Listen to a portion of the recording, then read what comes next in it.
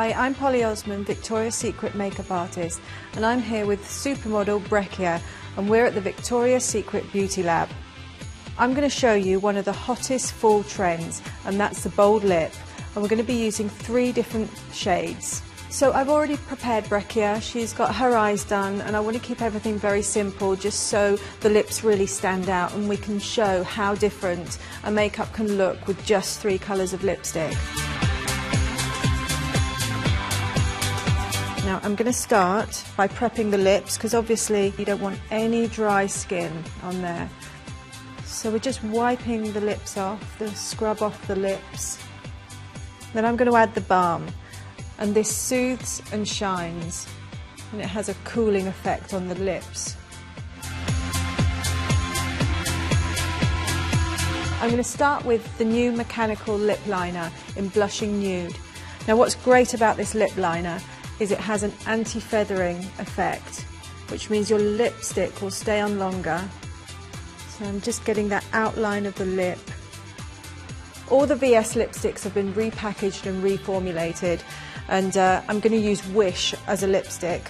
I'm going to use a brush and then just add it on. You don't need to be too precise with these colours and this is really going to give you that nice soft pout and then you can just take a little bit with your finger and then just dab it on over the lip. There we have the first neutral lip look. This is really good for daytime wear. It looks gorgeous and very sexy. I'm going to start with the mechanical lip liner in Red Hot.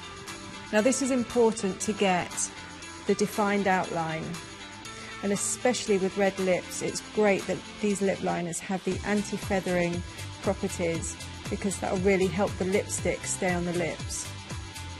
So I'm starting with this top lip and I'm just working it so we get that nice line and then I'm going to go to the bottom and work the pencil inwards. I'm filling in the lip just so there's an added layer so when the lipstick starts to wear off you've got another colour underneath and this will also help the lipstick stay on longer and give it more definition. Now the lips are filled in, I'm going to use Showstopper. This is one of my favourite red lipsticks.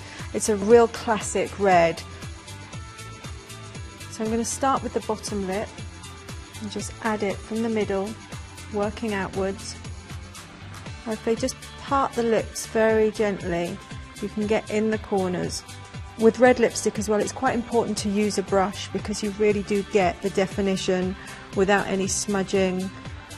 Right, once you've finished the lip, here's a trick for making it last even longer. If you grab a tissue, just place it gently over the lip, take off the excess, and then pull it off, and then add another layer of lipstick over the top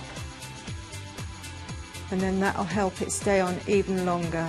And that's the second look, that gorgeous classic red lip. The third and final look, I'm going to be doing a berry lip. I'm going to start with Spanish Sangria, the lip pencil. I'm going to start at the bow and just work it into the lip. Now having lip balm underneath the lip will really help the lip liner to not stick and pull the lips so you get that nice defined line and then I'm going to finish the lip off with Amplified.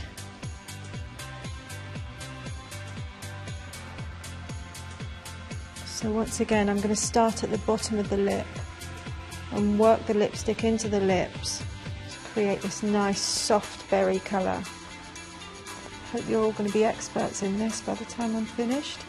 I love these new formulations of lipsticks. They're rich and creamy and provide a lasting full coverage. All three lips, totally different looks and all three absolutely gorgeous.